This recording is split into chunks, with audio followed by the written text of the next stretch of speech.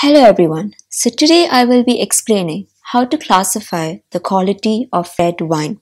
The dataset has been obtained from the UCI repository and I will be using two means of classification which is logistic regression and random forest classification. So I will start off by importing the necessary modules that we need.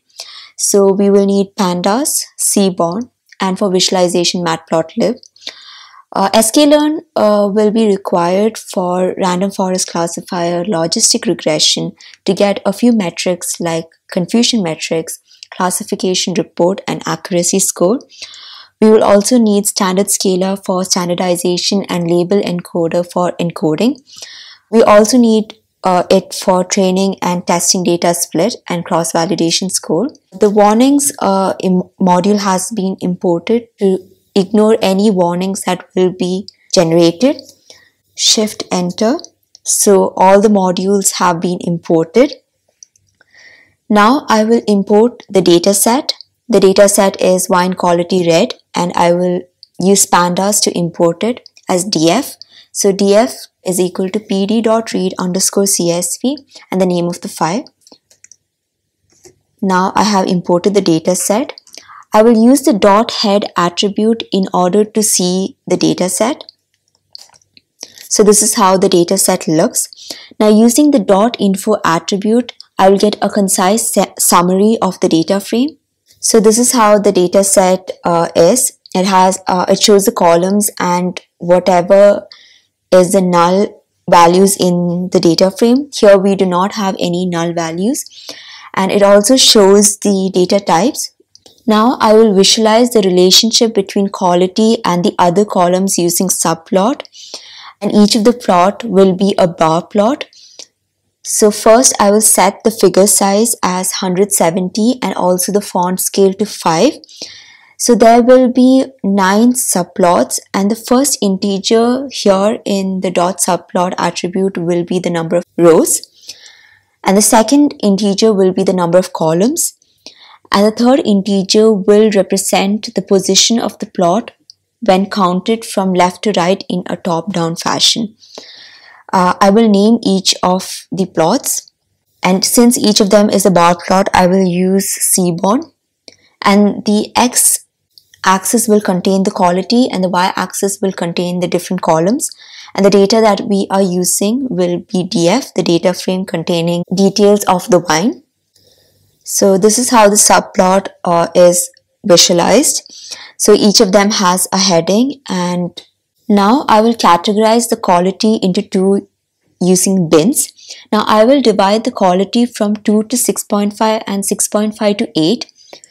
Uh, the classes will be bad and good, 2 to 6.5 being bad and 6.5 to 8 being good.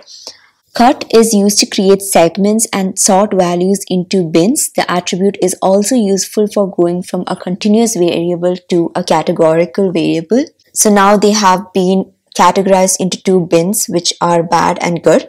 I will encode these classes using label encoder.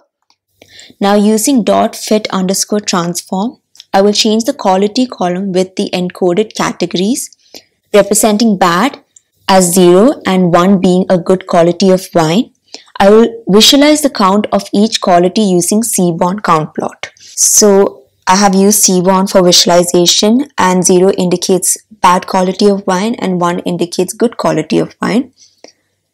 Now I'll see how the data frame uh, looks like. So as we can see, the quality uh, has been changed into 0 and 1 uh, compared to the previous where there were various numbers. This will create two data frames. X will be the original data frame with the target variable quality being removed and Y will contain the series df quality. Now I will split the data to both testing and training data set with test size being 20% and then I will standardize the data. The data has been split and now I will do standardization. The classification will be done using logistic regression and random forest classifier so I will explain a bit about it. Logistic regression is a machine learning algorithm which is used for classification problems and it is a predictive analysis algorithm based on the concept of probability. Now this is a sigmoid function uh, which is equal to 1 by 1 plus exponential of minus z. It uses a complex cost function which is the sigmoid function and this is also known as the logistic function. In order to map predicted values to probability, this function is being used and the function maps any real value into another value between 0 and 1. In machine learning, we use sigmoid to map predictions to probabilities. So now we expect a classifier to give us a set of outputs or classes based on the probability when we pass the inputs through the prediction function and uses a probability score between 0 and 1. There is a threshold value and anything below it will belong to one class and anything above it will belong to another class. So this is all about logistic regression. Now I'll explain random forest classification. Random forest is a classification algorithm consisting of many decision trees. It uses feature randomness and bagging when building each individual tree to create a forest of trees which are uncorrelated. So the features would not have any correlation and each of them are represented by trees. And the prediction as a group of trees will be more accurate than an individual tree. So this is what happens in random forest classifier. So now I will use both of these means in order to classify the quality of wine as good and bad. I will instantiate RF as random forest classifier with the number of trees being 100 and I will use this to fit our training set and the target variable of the training data set and I will predict this for the testing data set. Now I will calculate an accuracy score with the target variable and also with the predicted target variable using random forest classifier. So accuracy score takes two arguments and the first one will be the true value of the target variable and the second argument will be the predicted value of the target variable. Now I will print prediction accuracy of random forest classifier. It comes out to be 90%. I will visualize this using a confusion matrix. Confusion matrix also takes two arguments which is the true value of the target variable and the predicted value. The visualization is done using a heat map. I will set the annotation as true so that it can show the value of true positives, false positives, true negatives and false negatives. I will set the x label to be the predicted value and the y label to be the true value. Now this is how the heat map looks with the confusion matrix. So uh, I will explain a bit about confusion matrix.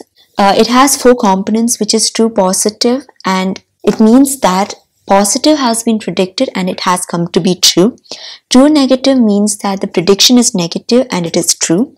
False positive means the prediction is positive but it's false. And false negative means that the prediction is negative and it is false.